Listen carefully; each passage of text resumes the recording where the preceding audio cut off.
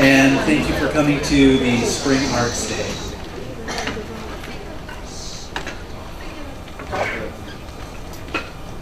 학생 여러분, 학부모 여러분, 저희 스프링 아트데이에 오신 거 환영합니다.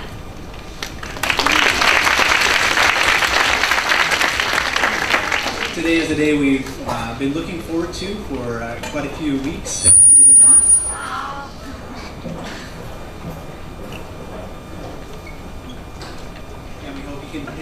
Hear the high range tones that the band may be playing. 저희 오늘을 위해서 몇 주 동안 또는 몇 달 동안 계속 준비하고 어, 고대했던 날이기도 하고요. 그리고 아까 저희가 소음이 있었던 부분은 죄송하지만 아마도 배- 밴드 공연에서 더 큰 소리를 들으실 수 있을 겁니다.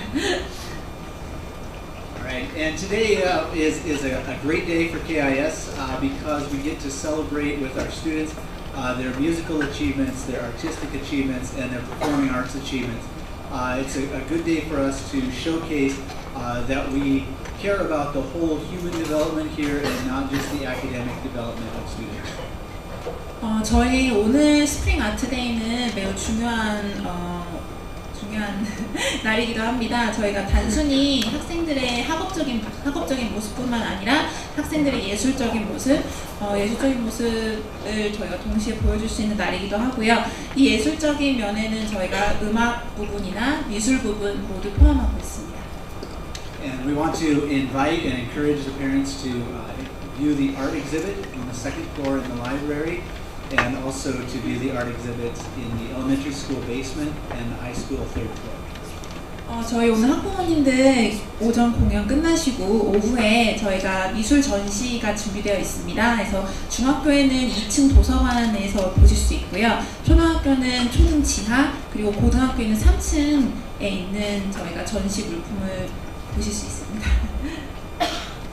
And uh, we want to remind the students, if you are in Mr. Dingo's drama class, to go directly to his drama class after this concert so that you can get ready for your show. 어, 저희 만약에 어, 미스터 딩글 선생님이 이끄는 드라마 공연에 참가할 학생들은 어, 아침에 밴드 공연이 있는 다음에 바로 딩글 선생님과 함께 가서 준비를 하시면 될 것 같습니다. Thank you and enjoy the show. 감사합니다. 좋은 공연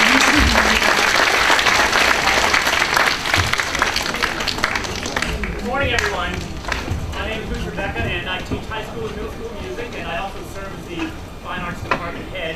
This morning, I woke up and it was beautiful, it was sunny, and I, I asked the kids, I said, so it's gorgeous outside, it's sunny, and what do you want to do today? And every one of them said, I want to go to the PAC and play a concert. So, do that. Um, our first tune is going to be Andalusia. It's a Latin march with a hint of tango.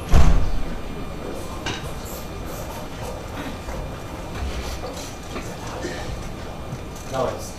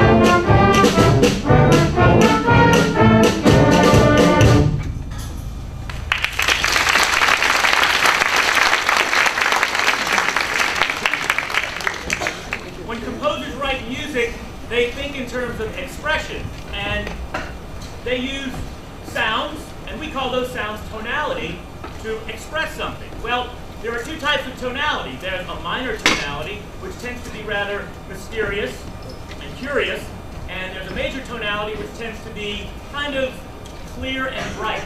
Well, today we're going to play a chorale for you in a minor key, exploring a minor tonality. And I just want to mention this. Grade 6 bands don't normally play in minor keys because it's challenging, very challenging. And this band was up to doing this. And so I'm very proud of them. This is chorale in C minor.